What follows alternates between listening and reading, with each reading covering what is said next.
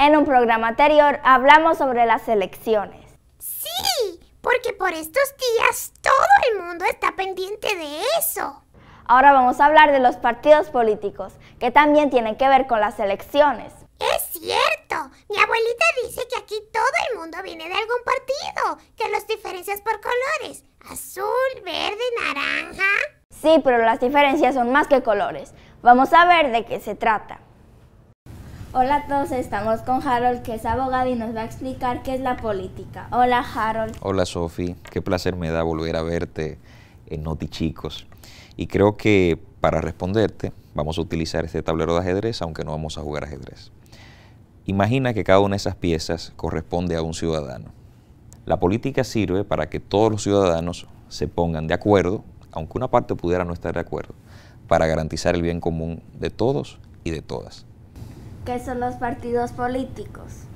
Los partidos políticos son organizaciones muy similares a los que son las juntas de vecinos y otras organizaciones donde las personas deciden agruparse para lograr un objetivo común. En este caso, el objetivo común es político, que puede estar orientado a la distribución del poder o a la obtención del poder que hace posible que las tomas de decisiones en el Estado, en la sociedad, lleguen al punto al que deseamos todos.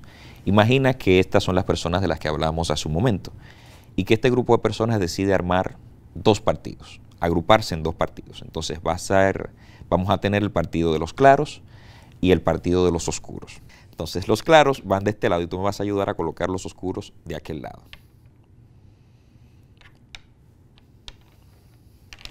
Y de esta forma tendríamos dos partidos, tal como los vemos en la República Dominicana, que regularmente se identifican con colores.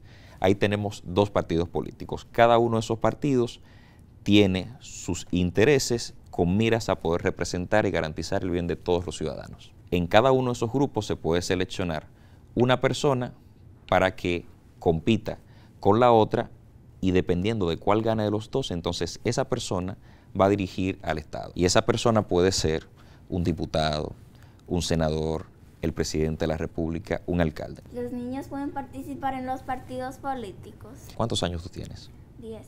Entonces te faltan ocho. Cuando tengas 18 podrás participar en un partido político. Y en ese momento, ya participando en un partido, podrás disfrutar o ejercer los derechos de elegir o de ser elegible. Gracias Harold por explicarnos sobre los partidos políticos. Gracias a ti por invitarme a tu espacio y a todos los notichicos por la sintonía. Hasta la próxima.